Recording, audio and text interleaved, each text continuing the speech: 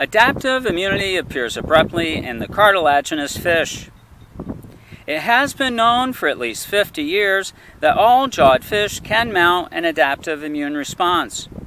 On the other hand, hagfish and lampreys, which are jawless vertebrates, lack all signs of an adaptive immune system. They do not have organized lymphoid tissue, they lack primary immune responses, and most importantly, they do not exhibit immunological memory. By contrast, even cartilaginous fish, the earliest jawed fish to survive to the present day, have organized lymphoid tissue, albeit primitive, T cell receptors and immunoglobulins, and the ability to mount adaptive immune responses.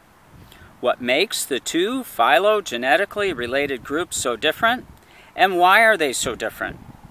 That is the mystery of the evolution of adaptive immunity and what a mystery it is. It was only in 1998 that the answers to these questions began to become apparent. In jawed fish and all higher vertebrates, adaptive immunity is possible because of what is thought of as the immunological Big Bang, which occurred in some ancestor of the jawed fish.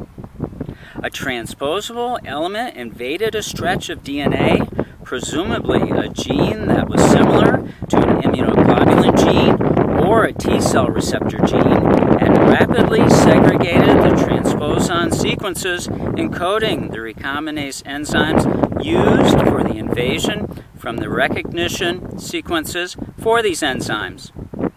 These remnants of the original transposon became the recombination signal sequences of immunoglobulin and T cell receptor genes.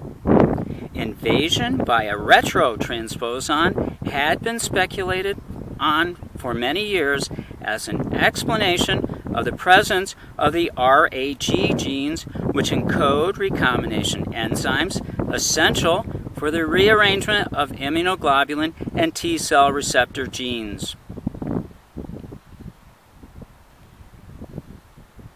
And that's adaptive immunity appears abruptly in the cartilaginous fish.